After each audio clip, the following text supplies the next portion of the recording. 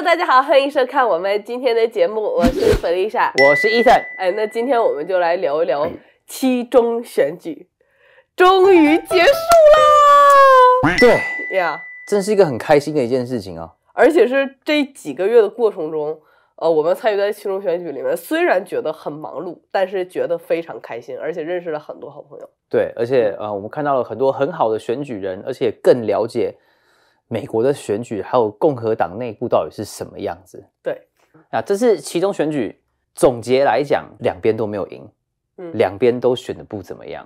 当然，比较差的是共和党，因为我们一开始进去的时候，共和党有非常大的期待，觉得说现在油价这个样子，物价这个样子，然后教育各方面这些都所有东西集在一起，每一个人的生活水平都降低的情况下，为什么还会有这么多的人会投给民主党？这也是非常奇怪的吧？你觉得？我觉得很奇怪，而且其实原来的期望放的非常非常高，但是实际上的预期效果来讲，当然是没有期望的那么高。但是我经过一天的沉淀之后，就昨天我情绪非常低落哈，啊对，然后经过一天的这个沉淀之后，我比较冷静，就是可以慢慢接受，然后可以比较理性的去想说这些到底是为什么。对呀，然后很多人会说是我共和党大输，其实没有，共和党赢的还蛮多的。只不过就是没有期待中的赢成那个样子。对，因为本来是什么红色海啸啊，各方面，就现在是红色水滴、红色眼药水的那种感觉。那这里面可圈可点的就是佛州，嗯，佛州是原本是一个 purple state，然后现在整个大翻红，整个就是亮红在那个地方。purple state 呢，就是美国有两党，一个是左派的 Democrat 民主党，他们的颜色就是蓝色的，那红色就是共和党。那它这两个。党有两个都有可能赢的，就是摇摆州啦。那之前佛州一直都是一个左右不定的一个州，就是每一次选举，布希的时候变红色，然后呢，奥巴马的时候变蓝色，川普的时候又变红色两次，然后现在是变得大红，在那个里面你找不到任何一点蓝在那个地方，连最蓝最蓝的民主党的那个 stronghold 永远都投民主党的，这次也翻红了。你说有没有 red wave？其实是有一个很大一个 red wave，然后就在佛州发生，然后刚好佛州是全美国第一个开始开票的，所以说当他开始开票的时候，就差不多我们这边的三四点的时候，我一看新闻，然后看那个数字，我说我靠，这太漂亮了吧！就真的是红色的海啸啊，因为是从。这边开始往这边开嘛？对。那按照时间来看，这边还没有，他们那边是最先。对。然后我那时候开始写新闻稿，就哒哒哒哒哒哒，哇，红色海啸，什么什么什么什么什么什么什么什么什么，然后就呃开开开开开，我想说我想说一定没问题了，就是全美国应该都是这个样子。结果并没有，那个红色海啸就在佛州就搁浅了，那在其他的州就就开始，哎，奇怪，怎么宾州会这样？哎，怎么 Ohio 会这样？哎，怎么 Michigan 也没有转？哎，怎么呃 Wisconsin 也没有那个？然后结果我们很期待，因为我们是在加州做了非常多的事情，而且这次看到加州，就是我们身边的人也好，包括我们群里人都对这一次的选举跟之前来比是有很。大的不同的就是很多大家都参与到线下的工作里面去做，对，然后包括很多教会，教会之前就是啊没关系啦，怎么什么啊怎么啊人家选他们的，我们只要安心相信主，然后呢一切交给神就好，然后什么都不做那一种。那这一次透过 AI News 的宣传，还有我们积极的参加各个祷告会，然后还有跟牧者同工在那边去做这样子的事情，我们发现有很多很多的力量，特别是从教会来的力量，华人的教会都起来了。然后英文的教会更是不用讲，对，一堆教会起来，他去做这样的事情。所以说，我们本来对这一次的选举就是有很大的期望。我们觉得说，这些之前不关心的人，现在全部都起来了，嗯，非常非常大的一个目标。哎，结果，那对于我目前为止啊，我觉得就是因为我还是关注加州的选举比较多，因为我们投入精力比较大哈。但是现在哈录节目的截止目前为止来讲，我看那些我觉得还好。嗯，就是对于我来讲，我觉得还好啊。你就比如说像州长的这个选举好了，其实两个人的票没有差的说特别悬殊，嗯，没有说完全就是 Gavin Newsom 一一马当先，然后怎么怎么样，其实没有。就是我觉得这样一个现象，就是证明很多人是明白的，很多人不再因为纽森特别漂亮的脸蛋 然后投票给他，很多人是知道，而且是明白说加州现在是有问题的，所以这些人会说，哦，那我这一次就是投给呃共和党这个样子啊。我最关注的 race 其实就是像加州的众议员的这些事情哈，尤其是国会众议员嘛，对吧？这个是我这两天呢，就是废寝忘食，我睡不着觉，我就天天在那刷手机，我说更新没更新，更新没更新，我一直在那看哈。那加州众议员呢，一共有五十二个区，大部分的结果都已经出来了，但是出来是谁喊说赢了还是没赢？是 AP Associated Press 啊，就是美联社。OK，美联社喊说他们赢了还是没赢？那对于美联社呃说的一些结果，我根本就是不同意。比如说两个人之间他差距根本就不大，而且开票只开了百分之三十几，你凭什么说民主党那个人赢了？我我觉得这点是我完全不同意，因为后面很多票都没出来。你哪怕你说你开到百分之九十五了。或者是你都不用百分之九十五，百分之八十、百分之七十，你再喊也 OK。你开票开到百分之三十几，我觉得这些东西是非常不公平的。那当然，我非常关注的是什么呢？是国会选区第三十八区了，就是秦振国哈。那现在呢，大部分的结果 AP 喊出来了，说大部分的结果都已经出来，在 AP 上面还有十几个区还是在等待的过程中，在等待计票的过程中哈。那比如说像三十八选区，这个秦振国跟 Linda Sanchez 啊，他们现在呢开票只开了百分之四十五，这个是我觉得非常奇怪的事情，因为从昨天早上到现在没有动过。昨天开了百分之四十五，今天看还是百分之四十五，就是他们真的有在计票吗？那为什么不继续？你说好，你再多开三趴，我也我也 OK 是吧？你昨天百分之四十五，你今天百分之四十八，你百分之五十我都认了，完全停在那里，根本一动不动，没有人在计票，而且这两个人的票数相差的非常少，只有六千票而已，啊，也就是说呢，还有十万票没开。还有十万张票没开，但是现在的差距只有六千票而已，其实非常非常短哈。那包括像我们报道过的三十五区的麦卡盖尔哈，现在开票也只开了百分之四十一而已，而且他距离对手也只有七千票而已。其实这些距离都不是很远的，不是说民主党人夸就把共和党人打趴，倒在海滩上起都起不来，其实不是那个样子。我觉得是有一些是可以去追逐的，这些票还没有结束了，现在还是在看。我不知道他们什么时候可以把这些票给弄出来，但是我觉得为什么？这些区就是只剩这十几个，而且现在剩下十几个没开票的，都是票数相差非常低的，都是中间距离非常少，而且只开票开了一小部分的。为什么这些人的票都是停在那里超过三十个小时完全没有动？他们到底在干嘛 Yeah，呀？这个这个是让我感觉到非常，就是我会很怀疑，就是你们到底在干嘛？为什么不开？难道是他们赢了，但你们不想说到底是怎样？我不知道啊。所以现在我们就是还是在等，然后加州这个结果。还是不知道，不到最后一秒不把票全部都开完，我们还是不知道。但是我们现在就是什么呢？不管它结果怎么样，要从这一次的中期选举里面去总结，就是我们学到了什么，然后我们的不足是什么，我们未来的展望是什么，我们每个人在未来的两年还要再做什么啊？所以今天就跟大家好好唠一唠，就是我们的感受到底是什么哈啊？那中期选举呢，对于民主党跟共和党两方来讲，你觉得怎么样？我觉得两方都是失败的。那很多人会说什么民主党很成功这一次，甚至还有人说什么哦，虽然我觉得拜登选进去的时候我不看好他，但是这次他选的是真的很漂亮，他反击了这次的那个 red wave，真是可怕！有人居然会这样讲的。对，说真的，你你我请那样子说的人出来说，拜登做了什么？拜登从他当选到现在，他做了什么？他就是开始一直一直在乱开支票，然后我们丢了好像几几亿的东西给乌克兰。他除了做这些事情，还做了什么？就是他什么事情都没有做，然后呢，很多人支持他。然后我们这边可以发现一件事情，嗯，就是左派他们不需要一个好的领导人、嗯好的国会议员或者是一个参选人好了。他们不需要一个好的候选人在这个地方，但是共和党是非常需要一个好的候选人的。嗯，民主党他的人可以中风，Fetterman。对，然后还甚至已经死了都没关系，就是那个还是大赢。对 landslide victory，OK，、他死了都还是可以继续赢，就是他们完全不在乎他们的候选人的质量，对，但是共和党这边很在乎我们选举人的质量，我们很在乎说他的价值观是不是好的，是他的呃品德是不是好的，然后他是不是一个神的仆人或者是什么什么，他有没有跟我相同的价值观？共和党的人是或者保守派的人是比较在乎这样的而东西的，且包括像我们，我们好像甄选候选人，我们对他们条件要求太苛刻了是吗？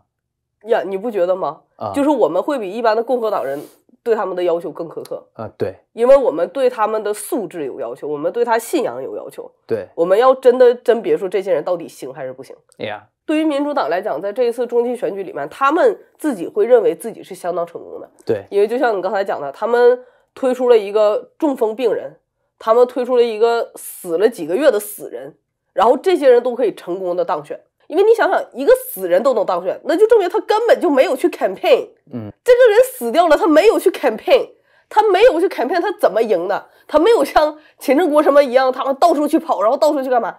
但是他赢了，为什么？左派就会自然的认为说，哦，这些人他们是按照党派投票的，他们不会说，哦，因为这个人我支持他，所以我投票。选民甚至不知道他死掉了，选民就是按照党派来投票，就说我就是支持民主党，我不管这人死了还是活了，我们就投他。那这样的话，左派就会得出一个结论，一个什么结论呢？就说，哎，你看我们这边派出这些虾兵蟹将，他们居然都能把共和党人那边是不是精心挑选的这个良将给打败？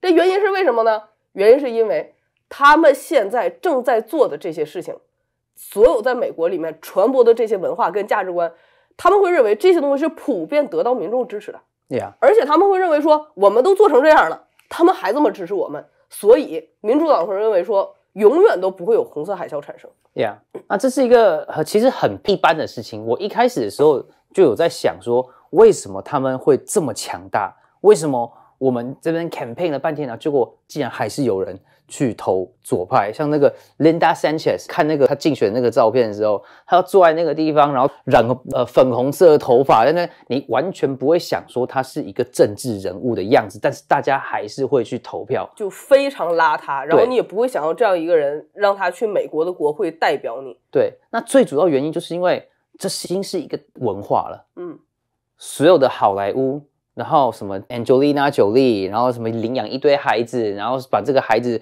一个一个男的变女的，女的变男的，然后打篮球那个什么 Dwayne Wade，呃，一个好好的一个儿子，就是硬说他，哎，你是女儿，你是女儿，你是女儿，然后就说，哎，我我今天是个女儿，然后我学校告诉我我是女儿。其实这个这些父母很多变态的这个行为在这个地方，我们的影视圈是这个样子，我们的电影是这样子演的，我们的各式各样，我们的呃明星呃网红，全部都是用这个样子的文化来去做这个样子的事情的时候，大众就会觉得说，哎，明星是这样是对的，明星这样做是对，他可以变得有名，就是因为他这个样子，他很勇敢。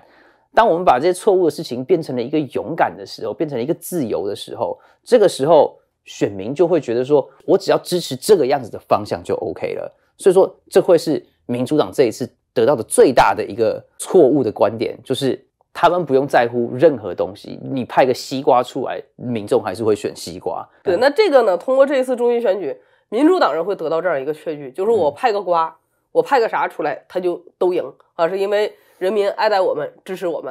啊那共和党会认为什么呢？共和党会认为说，这真是奇怪了哈，美国都让他们霍霍成这样了。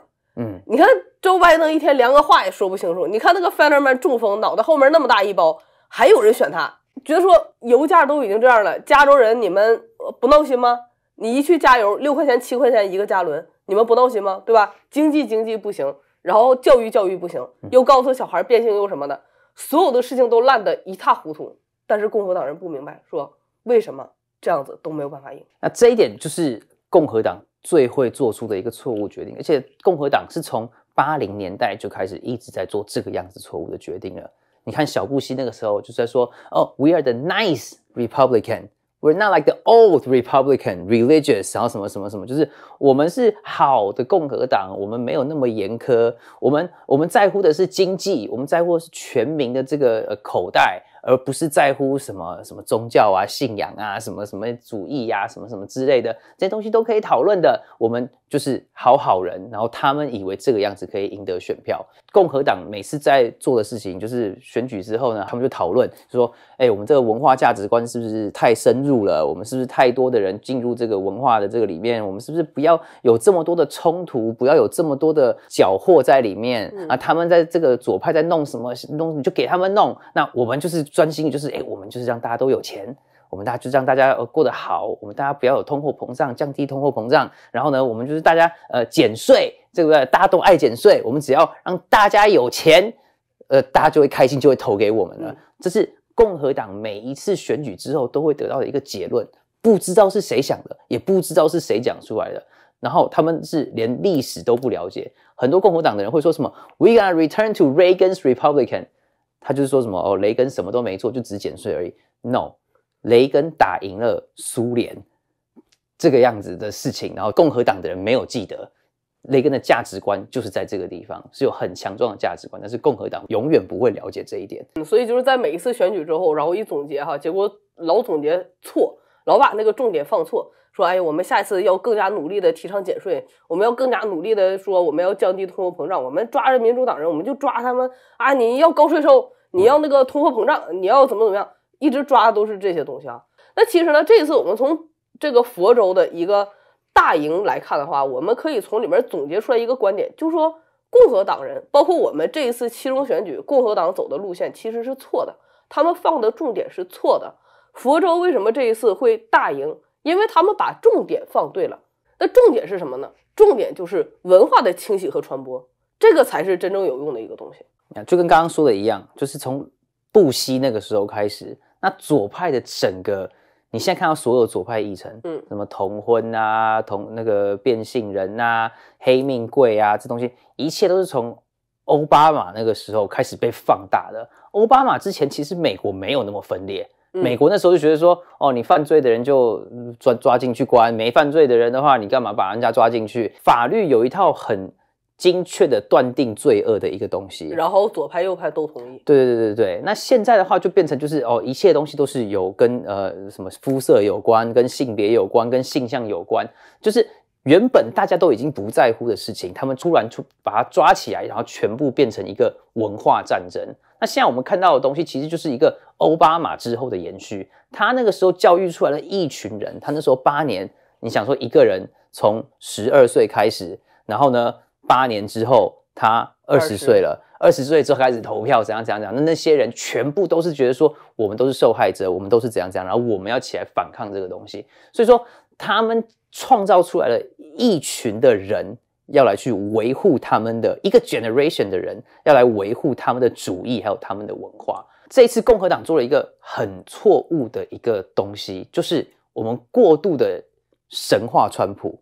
嗯，我们过度的觉得说川普什么都好，我川普绝对是怎样怎样。我们前天才出了一个影片，就是说我们这次还是要川普来带领这个 MAGA 这个东西。那底下就一堆人就说什么哦，对，只有川普可以救美国，只有川普可以怎样怎样怎样。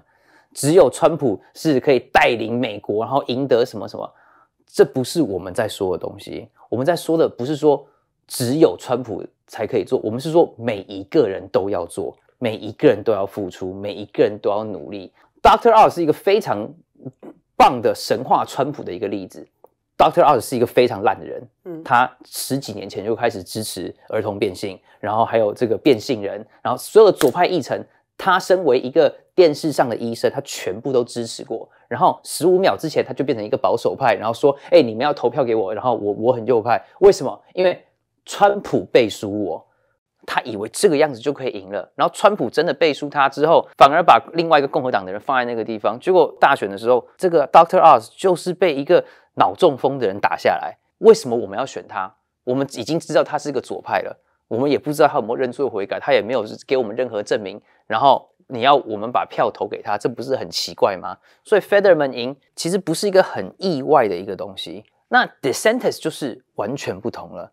DeSantis 他他一直很尊敬川普，他一直都没有跟川普吵架。川普骂他，他什么话都没讲。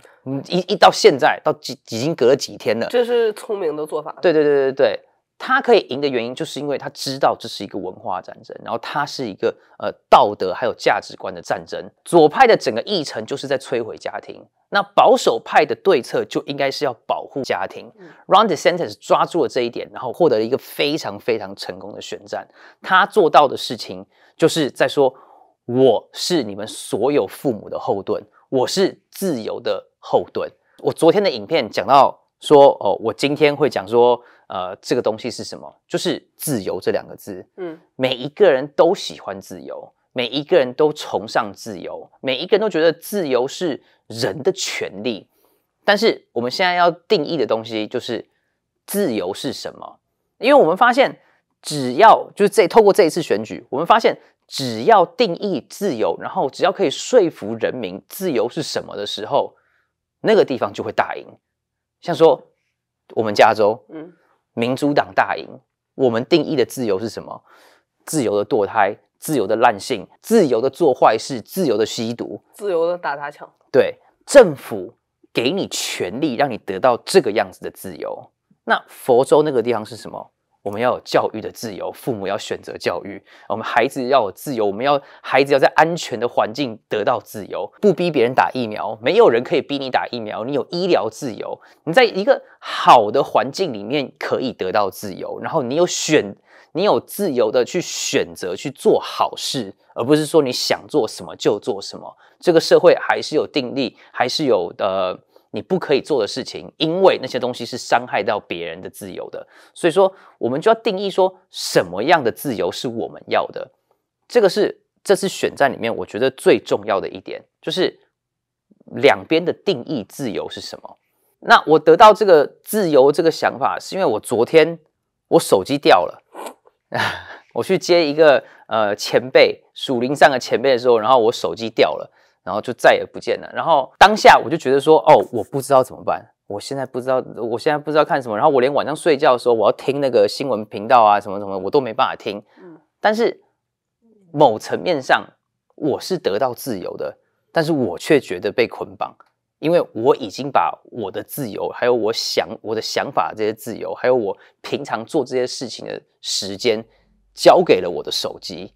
所以我反而是被我的手机捆绑的。所以说我们在定义自由的时候，像说，呃，加州这边定义自由的方法，还有佛州定义自由的方法，两边都在说我们要的是自由，但是自由到底是什么？这东西我们要重新的定义，然后让让人让更多的人接受到好的自由。什么叫做好的自由？而不是想做什么就做什么，一个没有底线的自由。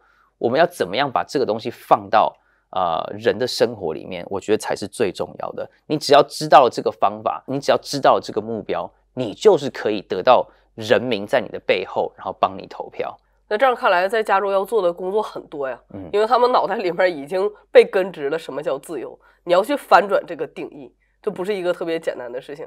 呀呀呀！我觉得呃，翻转是一定有可能，因为其实还蛮容易理解的，像说你不可以杀人一样，但是很多人就觉得。堕胎不是杀人，不是很多人觉得说某种情况下可以杀人，对，而且杀了人是可以应该被得到原谅的，对。那这个时候我们就是要努力的去跟别人辩论，然后这个时候我们就是要站稳你自己的脚步。我们常常就是在一个辩论里面，我们会 back up，我们会觉得说，OK，好好好，算了算了算了，我那你你想这样就好，你想这样就好，那个不要伤和气，然后什么左派还会觉得说我赢了。OK，你你们这些什么基督徒保守派的，没有一个人讲得过我，然后我最聪明。你们什么什么基督教，什么圣经，什么智慧，怎么从神而来？他们会这个样子觉得他们赢了。但是我们要做的事情就是，我们真要真的去跟他们抵抗。我们真的要站好我们的山头，划清我们的底线，就是不可以堕胎，通婚就是罪。什么是好的，什么是坏的？我们自己要有这个样子的定义，我们才有资格去说别人。对，那这个就是涉及到说我们接下来要做什么。不管说这次开票出来的结果是怎么样，呃，路都是要走嘛，而且要这个只是一个开始而已哈。所以我们接下来还有更多的工作要做。就像你刚才讲的，很多基督徒不知道什么是好的，什么是坏的。嗯，呃，这个当然是我们吃了善恶树以后那个果子以后得到的一个结果哈。但是问题是我们现在如果作为基督徒来讲，你就会有圣经。有圣经的话，你就应该要知道神对这些事情是怎么说，神的律法是什么。这个是作为基督徒一个非常基本的一个素质。那如果圣经里面讲的东西跟你现在的认知是不同的，那你要做的就是放弃你的认知，去跟随神的认知。这就是什么叫做心意更新而变化，就是你要把你原来的思想给抛弃。如果你不懂，请去问属灵前辈，请去问你的牧师，为什么圣经里面是这样说？因为。当同一个问题，你跟圣经的看法不一样，一定是你错了。你不用想别的，说有可能神说的不是这个意思，不是，就是你错了。哦，不用去想哈。所以我们接下来要做的是什么？我们接下来要做的是，在基督徒群体里面，就像你讲的，我们如何要跟那些人讲说，哦，不可以堕胎？请问现在在所有的基督徒群体里面，有多少人认为被强奸了、被乱伦了是可以堕胎的？有多少人是这样认为的？如果你这样认为，请回去看你的圣经，请去问你的牧师啊，对这个问题我们应该要怎么看？如果以后有机会，我们要出一集节目来专门讲这个啊。太多的基督徒，我相信大概百分之六十、百分之八十甚至的基督徒是同意了你被强奸是可以堕胎的。而且用这一个东西来合理化所有的堕胎。所以之后什么呢？教会要发出影响力，教会要发出影响力的前提是什么？前提是每个人要更加装备自己，这个是前提，不然你要发挥什么影响力？左派人来跟你说说，我们就要堕胎，你说啊，我同意，那请问你的影响力在哪里？你就不需要发挥任何影响力了，因为你跟他们的看法观点都是一样的，对吧？啊，那所以教会里的人要先明白神的教导到底是什么，圣经要好好学，主日学要好好学，而且要好好的明白神的诫命对我们的律法到底是什么，什么是罪，什么是不是，然后你做了什么事会导致你以后永远都不可能见到神的面，这些东西都是我们要先去明白的，所以要先 educate yourself，Yeah. 要被建造起来。每天读经祷告这个东西是绝对不可以少的，先被教导起来，先被建造起来，然后你才可以去影响别人。我们说你跟别人辩论，不是说你呃指着人鼻子骂，或者是你去嘲笑人家，不是，是你要让他们明白为什么是这样。有这样的对话的话，这是你的一个机会，这是你向他们传福音的一个机会，这是你让他们明白神的律法的一个机会。所以教会要发出影响力，首先先做门徒训练，门徒的建造，对吧.每一个人你把这个东西都做好了，你才能出去发挥影响力。Yeah，而且说真的，教会里面有很多的人，他们是完全左派思想的。是，呀，然后特别是什么年轻人的牧师啊，我我已经太多了。那接下来就我们要制定一个全新的、崭新的战略计划。嗯我们要跟 ronda centers 一样，我们要把东西 focus 在家庭上面。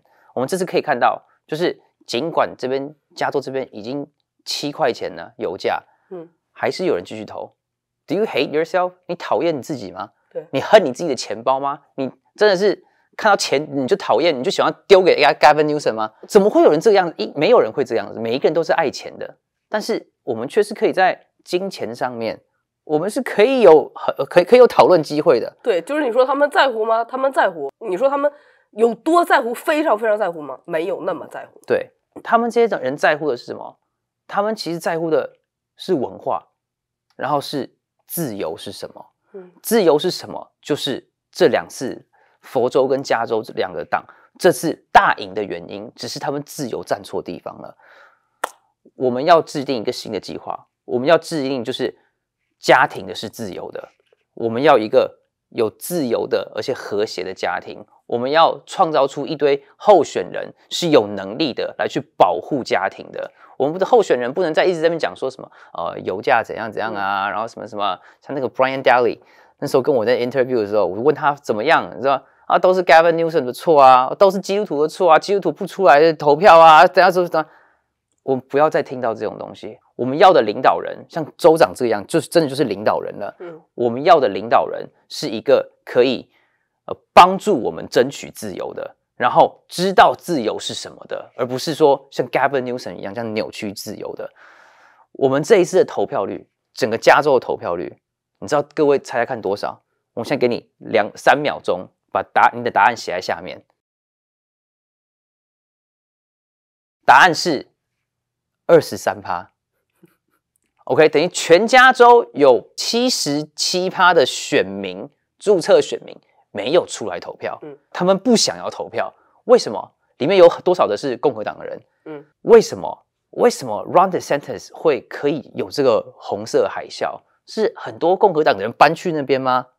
不是，是他 inspire 那边的共和党人说：“我做你们的后盾，而且我做你们的领导，你可以勇敢的出来投票，然后我会支持你的价值观。”这个样子，共和党的人才会被激励起来，这个样子才会有红色海啸。未来就是 AI News，还有 AI News 以后的候选人，我们支持的候选人，我们要做的事情就是保护家庭，因为我们每一个人都会愿意为了我们的家庭而死，我们每一个人都会愿意为了我们的家庭而牺牲，我们会愿意站在我们爱的人的前面保护他们，这个就是我们要保护的。那什么样的叫做家庭？什么样叫做一个家？什么样叫做爱？爱这个字已经被左派用到烂掉了。我们要让所有的人知道什么叫做爱，什么叫做律法，什么样叫做自由。我们这个样子，我们才知道我们在保护什么。所以未来我们的方向会是以家庭为主，然后会是以家庭为主轴，然后接下来我们认识的候选人，我们也会告诉他们说，你如果要像 Ron DeSantis 那个样子的话，你如果要有一个红色海啸的话，你就要出来保护家庭。所以这个就是重新画一个重点哈，让呃我们更重点的去 promote 什么，对吧？那你说像共和党人进去了，他肯定会反对高油价，对吧？他肯定会反对那个通货膨胀，这些东西都不用说。但是这些东西我们这次发下来不是大家在意的重点，所以我们要 promote 大家在意的重点，然后把这些优秀的候选人给推出去。因为大家都知道这一次只是一个开始，我们有这个机会认识这些候选人，他们实在是太棒了。我们接触下来，感觉到妈呀，这些人真的太好了，很难找到这样的人。我愿意让这样的人 represent 我。Yeah，哦，我觉得这是很棒的事情。所以这些人他们永远都不会放弃，我们也不会放弃。所以接下来就是我们一起打团队战的一个时刻，也希望更多教会能够更多站起来哈。很多时候我们刚才提到说，在教会里面有很多年轻的牧师，他们是拥有左派的思想啊。那如果要是说你是一个牧师，然后你们教会里面有这样的 youth pastor，你们发现他们有起到这样的作用，那我觉得有必要要找他们谈话，最起码要把他们的思想给摆正。如果不行的话，请把这样的人赶出教会。教会里不需要这样的癌症在里面蔓延。你要知道，癌症蔓延起来是很快的，在加州这个地方，这些有毒的思想传播起来是非常非常快的哈。所以教会里有这样的人，如果经过努力之后没有办法让他回到神的真道的话，请把这样的人给踢出去啊。就算那个人是你儿子，对，有更多要案例的牧师的话，嗯那我觉得圣经的价值观、圣经的世界观，这个是一个考核的方面。不光是我们神学，你不能说，哎，约约翰福音第三章来背下来，哈哈哈，就给你背下来，背下来，然后结果这个人搞了半天支持堕胎，支持所有一切的与圣经违背的这样的世界观跟价值观的思想。有这样的话，这样的人不要案例。我觉得这个要变成一个呃教会里面案例的一个标准。一个标准了，一个考核的标准，因为你不能案例一个人，然后这个人会把羊带到坑里面去，那你要案例他做什么啊？我觉得是这样。还有一个就是儿童主日学的内容要改，你要知道现在很多十二三岁的这些小孩，或者是哪怕是小学的小孩、初中的小孩，他们在学校里面面对的这些冲击啊，都是同性恋的、变性人的所有这些东西。那他们在世界上，在家庭里面得不到的答案，他让他可以在圣经里面找到答案，让他可以知道，当他面对这些时候的时候，他自己的想法应该是什么。如果他平时面对着这么复杂的情况，他到了教会之后，你还把他当成小孩一样对待。我们今天来讲故事了，然后讲讲故事哦，你可以吃个 chocolate bar 啊，吃一点零食吧，然后大家玩玩游戏，聊聊天。那他没有办法从教会里面获得他需要的，或者是他在世界上面临到的被撒旦攻击这个东西，他在教会里面没有办法得到这样一个心灵的保护。那对他来讲，教会就越来越不重要。如果是他在学校里面，他在社会上面对这些冲击，他在教会里面可以找到答案，他在圣经里面可以找到答案，知道这些事为什么是好的，为什么是不好的，原因在哪里，他就会明白圣经的可贵，他明白教会的可贵，他一生都不会离开教会。如果他要是觉得说教会只是一个我吃零食、找朋友一起玩的地方的话，那他很快就会离开，因为外面越来越长大了，可能到了高中都有车了，或者怎么样，外面有很多好玩的地方，有一点钱了，外面有很多好吃的地方，他礼拜天不需要再来教会了。如果他更结识很多朋友，不是从小去教会的朋友，那他礼拜天可能会花更多的时间出去玩，跟他朋友在一起，哪怕是写作业也好，逛街、看电影也好，他不会想要再来教会。教会是一个最重要的传播真理的地方。我们每个人离开真理，活不了，没有办法生活。你没有办法面对世界上给你的一切这些可怕的冲击，还有洗脑的东西。对于小孩来讲更是如此。所以教会要发挥影响力，不光是对大人的、成人的主日学，还有儿童的主日学，从头到尾，我觉得要有一个改革性的方针，要去改革。不光说这一次我们啊、对共和党的这个方向，我们未来两年的方向，我们有一个清晰的方向认知要去改革。教会也是如此，再不改革，耶稣都要回来了哈！抓紧时间，赶快！我觉得这个是要开一下会，要认真意识到这个事情的重要性，而不是说啊，我们能忍则忍。呃，教会情况很复杂，有很多人会不同意，说你的，他们不同意是他们的事情，说你的，谁让你做什么就做什么，不要害怕啊，你就像是在教会里面的议员一样，我们这些候选人是到国会里面议员，你们就是在教会里面为神发声的，所以这些事情该做都是要做，该说都是要说。那非常感谢大家收看我们今天的节目哈，如果你要是有任何什么的想法呢，或者有什么问题想跟我们讨论，欢迎你在下面给我们留言，让我们知道。好，那非常感谢你的收看，我是弗丽莎，我是伊森，那我们就下次再见了，拜拜。